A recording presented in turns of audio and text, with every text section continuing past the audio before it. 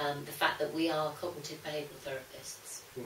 Now, there's a lot of evidence between, behind CBT, a lot of use of CBT within the medical profession, hmm um, certainly for depression and all sorts of things like that. Yes. And the basis of our hypnotherapy, the way that we use it, is by focusing on how your thoughts change your behaviour. Yeah. So your thoughts are the, the the cognitive, the cognitions of the of CBT. Yes, exactly. So, as in that last um, example, with somebody thinking about going to the dentist, they think to themselves, "Oh my God, it's going to be awful." Yes. So the likelihood is then, you know, their body language changes, their the heart may, hearts may, heart may race, um, they may get sweaty palms, all that sort of thing. Or it's going to be terrible. I'm going to be out of control. So all those thoughts in their heads, and that's again what we use when we do the hypnotherapy side of things. When it's positive, yes. a positive suggestion is changing those thoughts, changing the way you look at things, changing the way you imagine things, and the thoughts. Affirmations I use Yes. you know, a lot with people. Um, I can do this. I am doing this, and those affirmations being very positive and very progressive. Yeah. I'm uh, I'm okay. Yeah. Um, the evidence side of um, hypnotherapy, cognitive behavioural hypnotherapy. Yeah. Um, what do you know about that, Steve? Well, I mean, th- this is one of the things that attracted me to uh, cognitive behavioural hypnotherapy. Um, it is the evidence base because I think whenever you're dealing with a client, um, even if they don't ask you directly, there is a kind of unspoken question of, you know, is this going to work for me? Yes.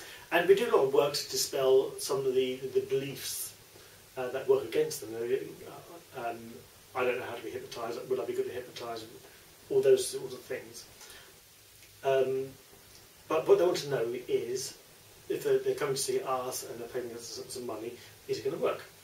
And the, the answer um, we want to be able to give is, the realistic answer is, you know, hypnotherapy doesn't suit everyone.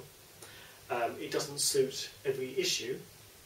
However, there is a body of research, uh, clinical research from trials, um, which have been peer reviewed, um, where the effectiveness of the, the processes that we use have been compared to um, either uh, doing nothing or Yeah. some placebo, Placebo, yeah. um, now to demonstrate that they are more effective than Than doing nothing, like you say, or or, or, or a placebo. Um, I mean, having said that, we do have to generalise sometimes. If somebody comes to see us for a um, say a, a- a needle phobia associated with uh, going to see a dentist, then there may not actually been research or study into that specific. You know, people go to see dentists. no, However, you could argue and say, well, if somebody's scared of needle injections, that's going to be the same kind of thing as any anybody going to, sort of yeah, going to see a doctor Yes, for or you know, having a blood test or something like that. So if we can find a study that says, you know, people who had a fear of needles, we did this process on them, and we had these um, results, uh, which prove its eff- efficacy. yes. Uh, then I think it's reasonable to generalise that to anybody who's having an injection. I agree, but I think um, what I say to my clients is irrelevant of the um, the trial evidence. Mm.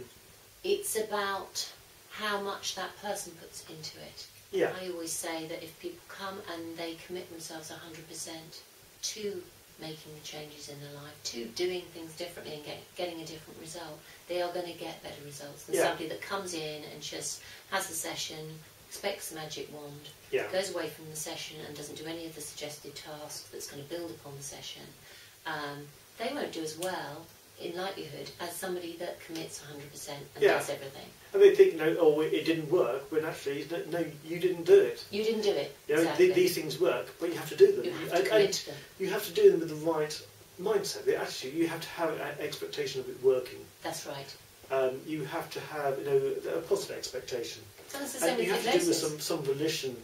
And you know, engage yourself in in the exercise And go for it. and go for it. Yeah. Yeah. And n- nothing we we do is particularly difficult. No, Uh, uh, is, is, is so simple that that simplicity in itself. And sometimes the simple things Yeah, have because the they say biggest impact. How can this work when it's so easy? Yeah, yeah.